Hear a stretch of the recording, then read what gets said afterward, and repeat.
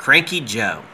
Joe Biden is reportedly known to lash out at his White House staff in unprovoked, profanity laden triad.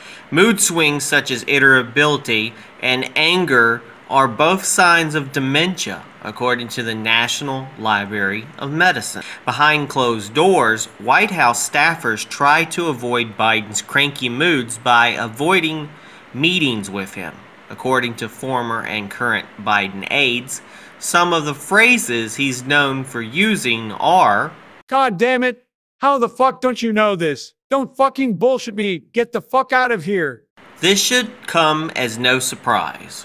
While his handlers try and hide his petulance, it often spills over in public. During the 2020 primary campaign, a Democrat voter challenged one of his policies, so Biden challenged him to a push up contest and called him fat. This is just another reason voters agree increasingly questioning Biden's mental fitness.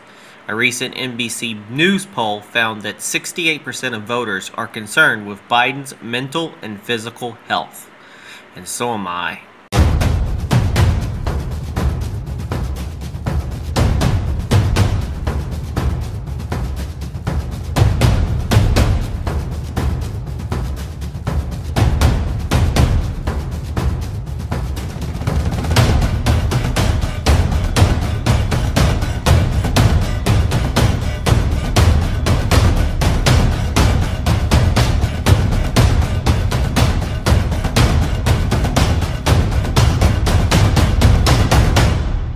Hi, folks. This is Peter Boykin, and Thank you for going right with Peter Boykin. I am running for North Carolina Lieutenant Governor. Now I think it's time for us to go right.